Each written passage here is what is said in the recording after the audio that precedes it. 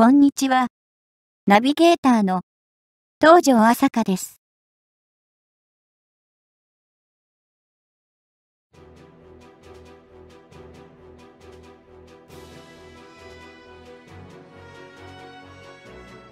緊急、あの轟マイナス20ステルス爆撃機の映像がついに現れる。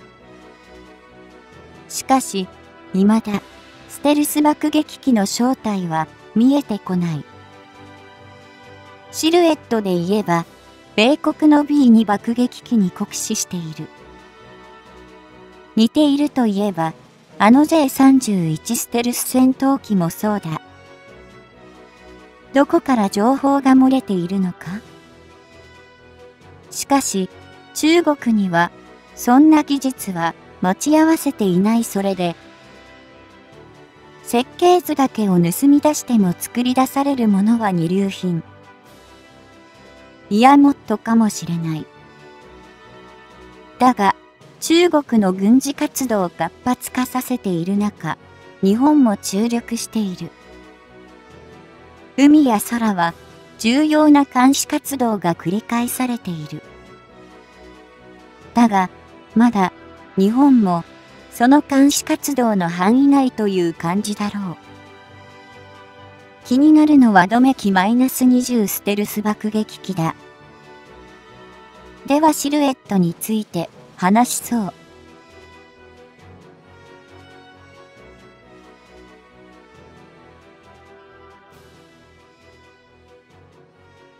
2018年の夏場以降、中国で開発中であり、時期にテスト飛行が実施される見込みだと懸念されていたのが、全翼の特徴的な形状を採用した新型のステルス戦略長距離爆撃機。本マイナス20だ。このステルス戦略長距離爆撃機本マイナス20が世界で多くの注目を集めたのは中国が核兵器の運用手法として、これまでの陸上施設や潜水艦での弾道ミサイル運用に加えて、航空機でそれを行う可能性ゆえだろう。さらに、このステルス戦略長距離爆撃機本20は、先行して実戦配備されているアメリカの B2 戦略爆撃機に告示した外観を持ち、さながらそれをコピーしたのではないのかとしても字幕を集めた。このあたりの臆面のなさも、著作権、知的財産権など、まるで考慮しない。国を挙げてのコピー製品天国の中国らしいといえばその通りの行動なのだが、このなりふり構わぬ姿勢には、やはり呆れさせられる。オリジナルの B2 戦略爆撃機は、冷戦最中のアメリカが、どこからでもソ連領に気づかれずに侵入し、核兵器を含む戦略兵器の射程内に収めることを施行して作られたと。いう曰く付きの究極の期待だ。それゆえに、惜しみなく、設計からステルス技術に至るまで資金が投入された。兵器だが、1機あたりの製造コストが日本円で軽く2000億円を超過するなど非常に高コストな機体となったことでも知られる。こうしたすべての面で、既存のソ連の兵器を凌駕するという設計思想は、同じく、この時代の F22 ラプター戦闘機やシーウルフ級潜水艦にも見られたが、ソ連の崩壊を受けた後にはオーバースペックだと判断された。B2 戦略爆撃機もこの例外ではなく、2020年現在でも収益中では、あるものの、全21機が製造されたのみで、生産終了を迎え、後継機の導入も2025年頃には開始される予定だと見られている。そうした意味では、アメリカの B2 戦略爆撃機は、1993年に配備されたこともあり、すでに30年近い運用が実施されており、あながち中国がコピーするのが難しいとは言えないほどの時間を経た。機体となっていた。B2 戦略爆撃機は、一元で言えば、ブーメランのような平たい形状が特徴で、尾翼などの突起物の一切ないその機体は、敵のレーダー並みの反射を分散させ捕捉されることを回避することに成功している。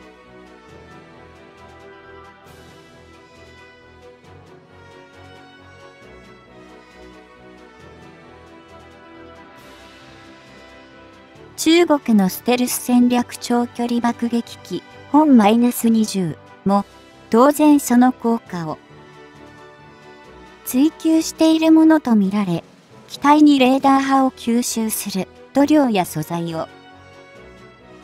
用いていることも同様だろうと推測されている。戦略爆撃機の系統としては B2 戦略爆撃機やステルス戦略長距離爆撃機。本 -20 のようにステルス性を持たせた機体と。逆に速度を向上させることで敵の迎撃を回避しようとした機体もある。速度の向上を狙った機体としては、アメリカの B1B 爆撃機やソ連の TU-160 爆撃機などが存在しているが、これらのような爆撃機については、中国は今のところ開発は行っていないように見受けられる。逆に、従来の大型で超高高度を飛行し、並走の搭載量が莫大なアメリカの B52 爆撃機のような古くからの機体も、その安定感ゆえに継続運用されており、中国でも、この分野の H6 キロ N 爆撃機も併用される様子だ。こうした旧型の大型爆撃機が延命できた要因としては、並走であるミサイルの進化が大きく寄与しており、敵の迎撃距離外からの攻撃が理論上は可能であることから今後も、しばらくは同様の運用だと思われる。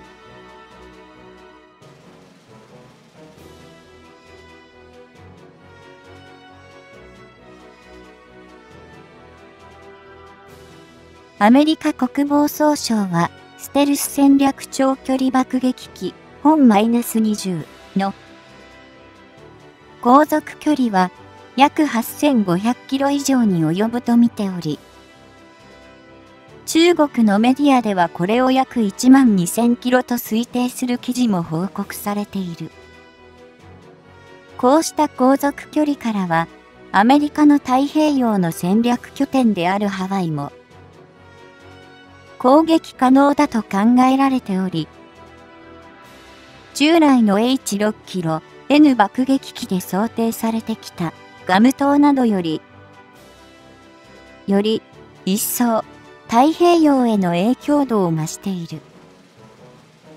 したがって、このステルス戦略長距離爆撃機本20が実戦配備されることになれば、中国が野心をロアにしている西太平洋地区における政界権のダッシュも現実味を帯びることが予想される。これは中国が配備を急ぐ航空母艦戦力の増強とも呼応し、台湾や日本などの周辺国にも深刻なパワーバランスの変化をもたらす。恐れがあることを認識しておく必要性があるだろう。ガンはクバ、彼のアメリカでさえ製造や整備のコストに不信したように、